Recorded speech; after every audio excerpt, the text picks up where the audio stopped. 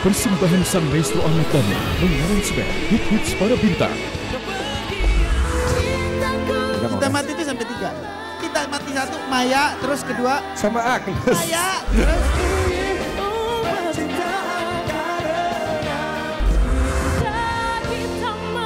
Saksikan Masterpiece 19 Maret jam 22.15.